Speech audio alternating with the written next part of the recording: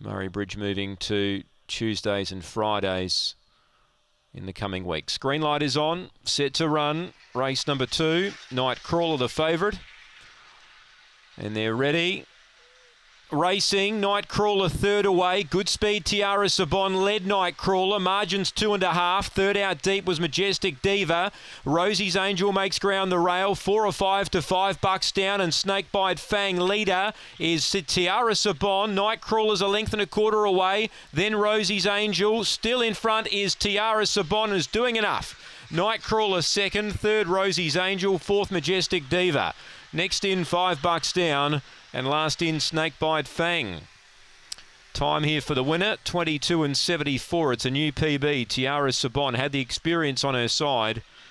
And she's defeated Nightcrawler and Rosie's Angel filling third, 8 fourth Majestic Diva. 219 and 8. 219 and 8. Tiara Sabon straight to the inside, leads throughout.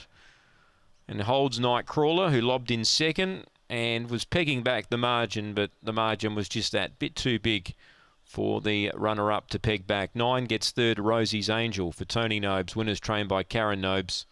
Number eight, fourth, Majestic Diva. 2, 1, 9 and 8. 22 and 74 the gallop here after race number two.